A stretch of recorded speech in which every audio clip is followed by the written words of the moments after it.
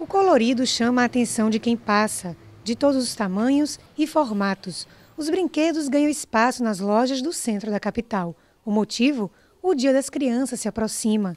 Mas com a alta da inflação, este ano os presentes procurados são aqueles que deixam a criançada feliz sem mexer no orçamento da família. Estamos buscando algo de boa qualidade, mas com preço inferior, até para que não pese no nosso, no nosso orçamento, no nosso bolso.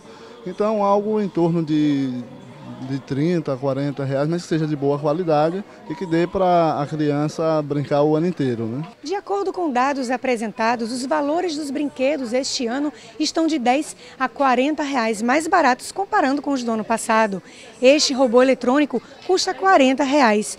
Já a tradicional boneca está custando 11,90. Geralmente agora os pais estão procurando os mais em contas, porque para facilitar, para não estar tá gastando muito. E agora, o, o assim, os, os, os, donos de loja compraram o presente mais em conta. Tem até de R$ 2,99, tem de R$ 14,99, R$ 11,99, tem várias variedades de brinquedos, tanto para menino como para menina. Imponentes, as motos e carros em miniaturas tomam o espaço principal da loja. O destaque vai para os brinquedos eletrônicos, com luzes, som, tecnologia e o preço em conta. Os artigos são os mais desejados entre a garotada. Segundo a vendedora desta loja, a data sugere uma variedade de brinquedos e os tradicionais, como bolas, bonecas e carrinhos de plástico, também são uma boa pedida. Sai muita boneca, também sai muito carro de controle. É muita variedade, assim, tanto para um como para o outro.